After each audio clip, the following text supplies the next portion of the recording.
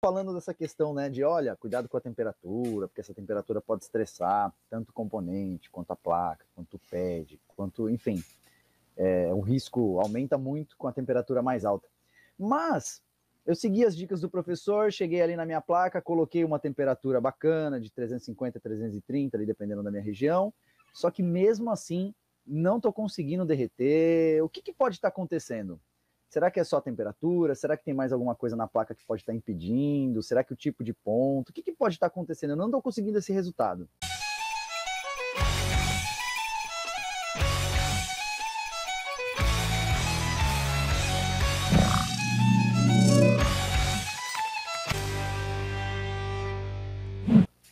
Então, o que acontece muito, inclusive na sua região, né, que é uma região litorânea, é o seguinte, pessoal.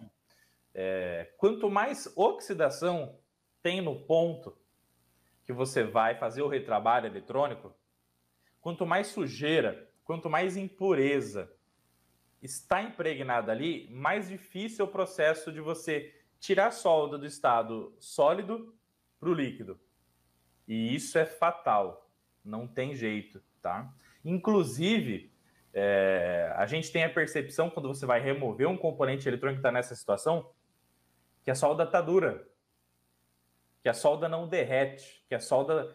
Inclusive, quando você aquece ela, parece que ela, ela tem um aspecto totalmente quebradiço, totalmente podre. Aquela solda horrorosa. Né? Esfarela, né? Exatamente, esfarela e você vai ter muita dificuldade de fazer esse processo. Para que você consiga facilitar a remoção desse componente, a primeira coisa que a gente precisa trabalhar é na remoção desses óxidos, remoção dessas impurezas. Como é que você faz isso? Gente, você faz isso com três tipos de produto. Primeiro, fluxo para soldar líquido, que é esse aqui, ó. Tá bom? Esse fluxo é o primeiro cara que você tem que usar quando você buscar a remoção de impurezas leves do ponto que você vai trabalhar na sua placa eletrônica, tá bom? Óxidos de intensidade leve. Então aplicou, aqueceu lá, e aquele caldinho preto ainda não saiu. O que é aquele caldinho preto? Deixa a hashtag caldo preto aqui no campo de comentários, tá? Ah, aquele caldo preto é o é a impureza que está saindo, está sendo retirada pelo fluxo que está agindo lá na sua placa eletrônica. Tá? Esse cara ainda não foi suficiente, vai para o fluxo resinoso. Fluxo resinoso. Que é um cara que tem uma química de ativação para fazer essa remoção de óxido de uma forma show de bola. E ele é levemente mais ácido que o líquido. Então, para um nível de impureza e oxidação um pouco maior, fluxo resinoso. Não deu certo ainda? Terceira opção, fluxo pastoso. Então você vai pegar o seu fluxo pastoso, tá tipicamente na sua seringa, tá? Vai aplicar lá e ele vai ter uma ativação do ácido um pouquinho mais elevada para poder fazer a remoção dessa impureza. Quarta opção, sol, aliás, a, a pasta para soldar da Implastec, a solda Tech. A solda Tech é o produto que você vai usar, tipicamente vem nessa, nessa latinha, né? O David mostrou aí. E ela é o produto que tem o maior nível de ativação para remoção de impureza da sua placa eletrônica, pessoal. É o produto mais espetacular para esse caso que o David falou. Então, se nenhum dos outros produtos resolveu, é a pasta para soldar da Implastec, a Soldatec. Pega um pouquinho lá com a chavinha de fenda ou com um pincelzinho, aplica de um lado, aplica do outro, aquece, porque a ativação só vai acontecer no aquecimento. Então você vai aquecer e vai manter ali aquecido para ela ativar e remover aquele óxido para você.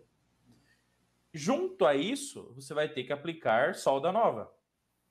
Então é a solda nova junto com o, o produto, junto com o aquecimento da ponta do seu ferro, que vai trabalhar para essa limpeza.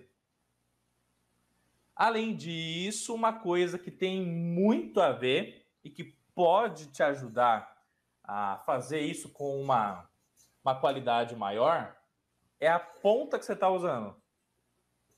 Tá bom? Por quê? Porque tem muita gente que acredita que a ponta tipo agulha, que é essa ponta aqui, ó. Vou mostrar aqui para vocês, ó. ó. Ela vai resolver todos os problemas da sua vida. E não é verdade. Porque o tamanho da ponta tem que ser diretamente proporcional com o componente, a ilha de solda e o terminal que você está lidando. Certo? E você tem que lembrar o seguinte, né, David? Que o aquecimento da placa do terminal, do componente dele de solda, é proporcional à área da ponta que você está usando. Então, se você está trabalhando com a ponta agulha e não está tendo um rendimento, um aquecimento satisfatório daquele ponto, então, uma das alternativas é você trocar a sua ponta por uma ponta, por exemplo, tipo fenda. Por quê? Porque a ponta tipo fenda, que é essa ponta que você está vendo aqui, ela é uma ponta que tem uma área de contato maior. Se ela tem uma área de contato maior, ela vai automaticamente transferir mais temperatura para sua placa eletrônica do que a ponta do tipo agulha. Outra, outra questão, né? Você pode usar a ponta do tipo faca para fazer a remoção de componente eletrônico de forma show de bola, né? Uma ponta excelente, tá? É, você pode também estar tá usando uma, uma ponta chanfrada, se assim você quiser. É uma ponta que geralmente a gente usa para para você aquecer diversos terminais, diversos leads de CIs, de circuito integrado SMD, certo? Então, uma outra coisa que você tem que trabalhar é na ponta que você está usando. Tá bom? Tudo isso ainda não foi suficiente. Aumenta um pouco a temperatura da estação. Aumenta um pouco. Até você ter resultado certo? Não trabalhe no excesso. Porque se você coloca 450, 500 graus, e a, a ilha de solda e o, e o terminal do componente que estão oxidados, mas tem que lembrar que a sua placa vai sofrer com esse excesso de temperatura. Então, você tem que equilibrar a eliminação dessa dificuldade da melhor forma possível gradativamente e não com mudanças bruscas. Porque tudo aquilo que gera mudança brusca, o impacto é muito grande, o impacto imediato é muito grande. E é isso que faz a placa estufar, a placa gerar bolha, retirar a ilha de solda, levantar a trilha da sua placa eletrônica, e é isso que a gente não quer na placa do cliente que está trabalhando. Afinal de contas, você está fazendo uma manutenção eletrônica. Você não pode piorar aquilo que já está difícil. Né? E, infelizmente, a gente tem que lidar e conviver com placas eletrônicas que vão estar em todos os âmbitos. Então, você vai ter placa eletrônica que vai estar tudo empoeirada, tudo oxidada. E aí você tem que, com as suas técnicas faixa preta, técnica que você aprende aqui na família eletrônica fácil, gradativamente, com paciência, resolver o seu problema. Entendeu? E lembra sempre que quanto mais pressa você tem na eletrônica, maior pode ser o seu nível de frustração. Frustração com um problema que você vai ter que arrumar devido a você ter sido muito apressado. Tá bom? Eu acredito que é isso, né, David? Olha lá, ó. olha lá. Então, há um nível de oxidação, um nível de corrosão, né? E aí não tem jeito, né, David? Hora que eu não sei, não sei, não sei nem o que me espera aqui dentro. pois é. Exatamente. Ah, e antes de tudo isso, uma outra dica é, para você não ter que lidar com o fluxo se misturar com sujeira, limpa a placa com álcool. Certo? Então, pega o álcool isopropílico, pega a sua escovinha antistática que você também pode adquirir lá na loja eletrônica fácil, se você decidir, o link está aqui na descrição. Você pega com o álcool isopropílico com a escovinha, faz uma limpeza prévia da sua placa eletrônica para tirar ali a, as impurezas que não são óxidos, para que daí o óxido e, e coisas parecidas com isso você foque para tirar com o fluxo a solda em pasta, tudo isso muito mais. Aliás, a pasta para soldar da Emplastec. Então, essa é a dica que eu tenho para dar nesse caso. Tá bom, pessoal? Depois e... façam, depois façam essas dicas, filmem, tá bom? E postem lá no Instagram e marca lá o arroba eletrônica fácil oficial para a gente compartilhar com toda a nossa comunidade do Fantástico Mundo Eletrônica, né, David? E a partir dessas dicas, pessoal, vocês gostou? Deixa o seu like, se inscreve no canal Eletrônica Fácil.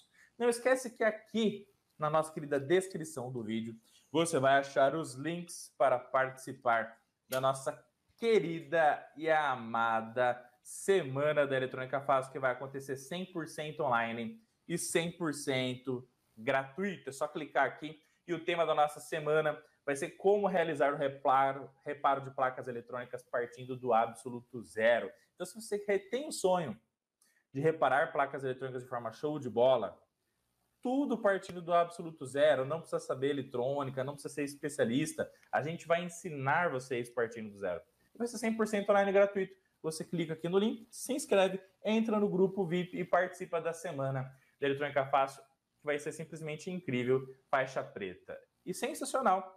E se porventura você quer adquirir utensílios para que você possa deixar a sua bancada de eletrônica ultra mega completa, com fluxo, com solda técnica, pasta de soldar, da Emplastec, sugador de solda e muito mais itens como ferro de solda e muito mais, acesse aí a loja eletrônica fácil.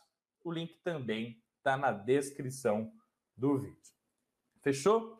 E é claro que vamos que vamos, vamos para cima.